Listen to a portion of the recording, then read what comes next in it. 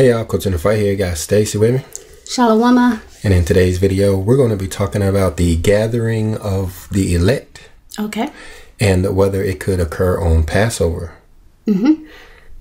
So in this video, what we plan to do is look down through certain scriptures that show that Passover could be the big day that we're waiting on. This big day where this gathering is to take place. Right. We see in Second Esdras that is going to take place during a feast day. Mm-hmm. Matter of fact, you want to go ahead and read one of those translations? Okay. The Common English Bible says, Rise, stand, and see the number of those sealed at the feast. This, of course, is what we read over in the book of Revelation, chapter 7, talking about the 144,000 and the multitude that no man can number. Right. Well, we see here in Second Esdras that that sealing that is to take place in Revelation chapter 7 is associated with one of the feast days. Mm-hmm. And in this video, we plan to show which one of the feast days. Of course, this is important looking in Matthew chapter 24, Mark chapter 13, as it's talking about the gathering of the elect. Right. So this is what we're talking about. The, Okay. uh, the elect, the bride of Christ, whom the Bible was written for. Um, this is kind of the biggest moment in the Bible is when these people are gathered together. Okay. Like I said, we see this in the book of Matthew. Would you go ahead and read verse 31 out of chapter 24? And he shall send his angels with a great sound of a trumpet, and they shall gather together his elect from the four winds, from one end of heaven to the other. Now, if we wanted to get into more of the timing of this gathering, we would have to examine this sound of the trumpet, which we've done in other videos. In this one, we're not really focusing on the exact year, just the festival day, Passover itself. Right. Because when we come over and look in the book of Jeremiah, chapter 38, in the Septuagint translation of the Bible, it says that we will be gathered at Passover. Okay. But notice that the King James Version doesn't say that. I see that. So, what we're going to do is compare these two and try to figure out why this is. Okay. Who's right? All right.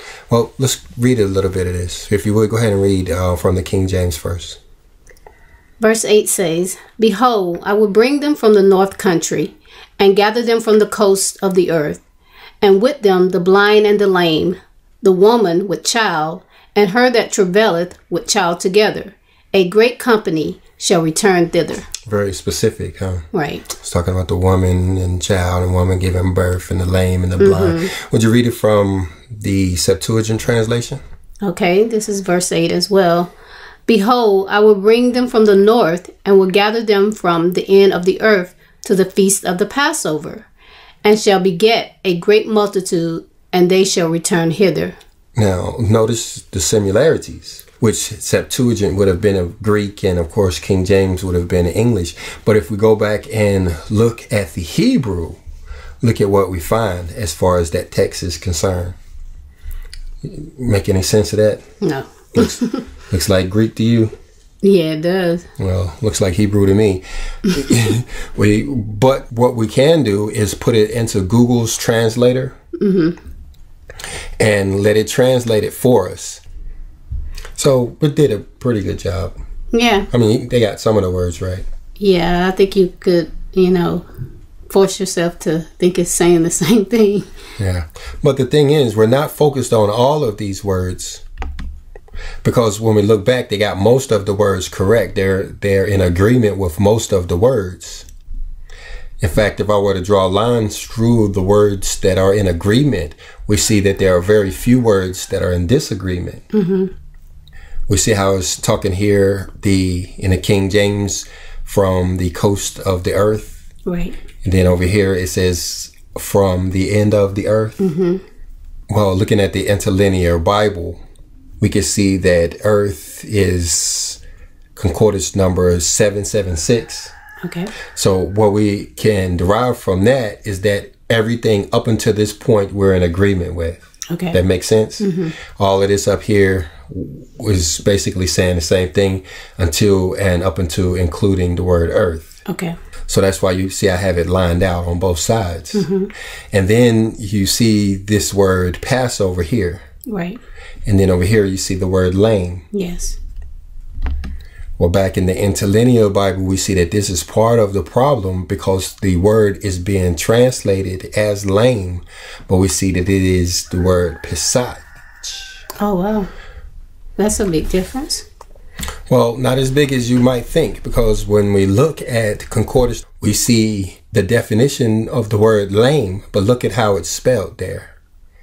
Those three letters. Mm-hmm. When we come back to Strong's number six four five three, we say that it's pretty much the same word. Right. But that brings me to something that I learned today about the Hebrew language that I found quite fascinating. Matter of fact, would you go ahead and read this? In ancient Hebrew, there was no space between words, no chapters and scrolls, nor vowels, nor punctuation of any kind. Okay, and so think about that. No punctuation, no vowels, and those spaces. So that's what the, the translators were offered. So when they got the verse, it would have looked like that. Right. And also it's written backwards. Right. No spaces, no vowels, written backwards with no punctuation. And so they basically just had to go figure it out. Yeah, I would think that that would be hard to decipher, especially um, with no spaces. Well, look what else it says. One had to learn to correctly divide the Word of God as they used to teach. It had to be parsed carefully to distinguish the actual intended meanings based on specific context, as well as the additional meanings of words and sentences overlapping others, all of which were potentially valid and some of which were very intentionally valid, even with the same very specific overlapping context. All non Hebrew translations therefore lack some of the additional Hebrew. In other words, they both could be right. It was basically up to the translator on which word he would use. Would he translate the word as Passover or would he translate the word as lame? Right. So, which one is correct? So, we're looking here at the verse itself, and again, we're narrowing it down to the conflict. What is the difference? Mm-hmm. And we see, like I said, there's very little conflict. Mm-hmm. The Septuagint is simply saying that they're going to be gathered to the feast of the Passover, while the King James is saying is that they're going to be gathered with the blind and the lame. Right. But that's way different. Mm-hmm. Which one is right? So when we're looking here at all of these words, and like we said, we got up to the word earth here, and we were able to separate everything before it.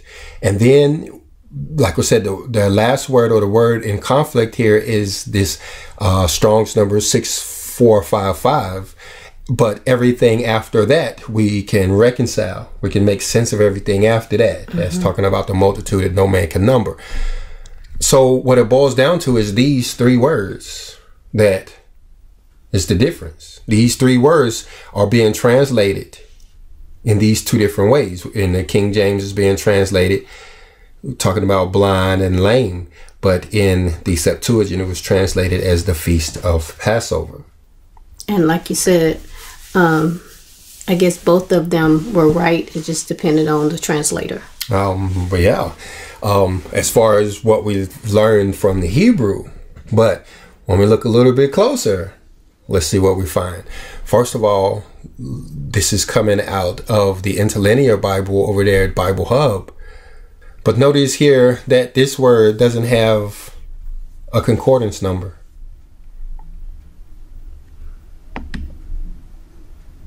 Out of all of the words up here, it doesn't have one, and when you click on it, it just gives you nothing. Hmm. It's like it's not a real word. And if you click on the next word to see which is the next word, it gives you the very first word in the thing. So it's not even a, a real word or something that's going on with it. Here. Right. And then this word here is being translated as the blind, mm-hmm. which is Strong's number 5787. But when we click on it, we see that it could have the definition of blind for those particular three letters, or it could be to make blind, like we see in 5786. But when we look at 5785, it says a skin. Hmm. And 5784, could be chafe. Or like chafe skin. Or it could be exposed like bare skin, like we see in Strong's number 5783. Or even rouse or awake. All of these words are choices that the translators could have used. Right. So, after a lot of prayer and meditating on it, and you know, one of the ideas that our father gave me was to use Google to mm-hmm. translate some of this. Okay. So, what we did is first went into Google and put in the text without any spaces, just like the translators would have gotten it. Mm-hmm. Now, immediately Google, after I pasted it in, immediately Google tried to sort it out and added their own spaces. Okay. But read the difference in what came out. This is the one with no spaces. Okay. Behold, I will bring them from the land of the north, and groups from the land of the south. Now that's what I pasted. And like I said, it, Google immediately started adding spaces. Right. So look what it came up with after it tried to figure it out. I will come from the northern land, and groups from the far end of the land in the spring of the Passover. And I will give birth to my children, Hadok the Great, and they will return here. So this is Google's actual first good attempt. It That's has a pretty good attempt. Yeah, it's getting closer, but it's getting closer to the Septuagint mm-hmm. translation. Right. And we're just putting in the Hebrew letters here. Mm-hmm. And Google just added a space here or there, but this is what it came up with. Okay.